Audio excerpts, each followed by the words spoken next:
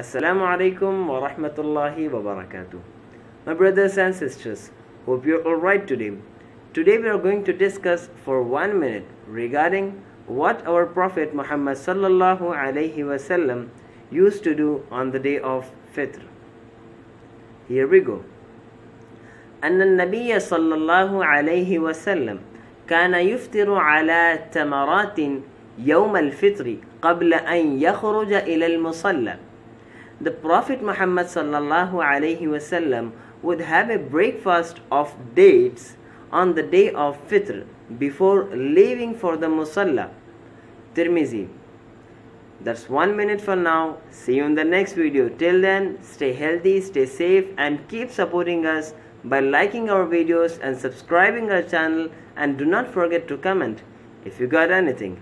Have a great day. Assalamu alaikum wa rahmatullahi wa barakatuh.